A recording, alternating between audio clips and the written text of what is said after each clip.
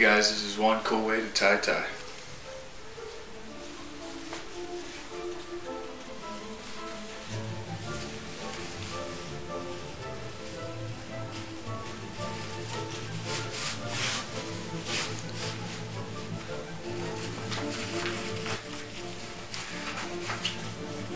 There you have it. You're probably wondering how I did this. It's very easy, very fast, very cool.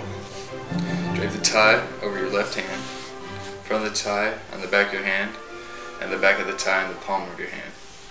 Once you have that, grab the back side of the front tie and make an X by draping it over your hand. So an X pattern on the back and then it drapes over. Once it's once you have that, come at an angle like this, grab the back part of the front of the tie, make a circle loop type thing, and then grab the the circle with your left hand.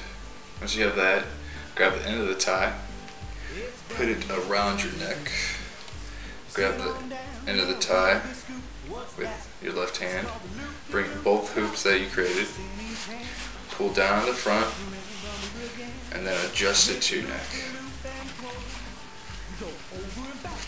Next.